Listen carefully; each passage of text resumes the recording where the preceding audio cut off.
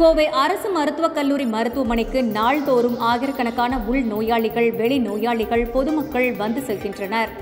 அரசு மருத்துவமனைக்கு முன்புறம் இரண்டு நுழைவாயில்கள் உள்ளன.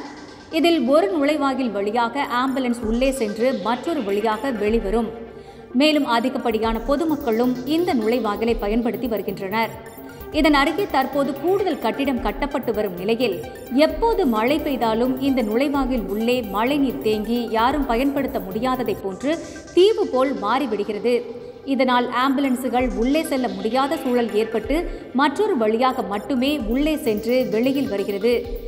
அதே சமயம் அந்த ஒரு நுழைவாகிலேயே பொதுமக்களும் பயன்படுத்துவதால் அங்கு நெரிசல் ஏற்படுகிறது. இதனால் பொதுமக்கள் நோயாளிகள் பெரும் சிரமத்தை சந்திக்க நேரிடுகிறது. தேங்கிய மழைநீரை மருத்துவமனை நிர்வாகமோ அல்லது மாநகராட்சி நிர்வாகமோ இயந்திரங்களை கொண்டு அகற்றிய பிறகுதான் இந்த வழியை மீண்டும் பயன்படுத்த முடிகிறது. எனவே இந்த நுழைவாகலின் உள்ளே மழைநீர் தேங்காத வண்ணம் நிரந்தர தீர்வு காண வேண்டுமென நோயாளிகள் மற்றும் பொதுமக்கள் கோரிக்கை விடுத்துள்ளனர்.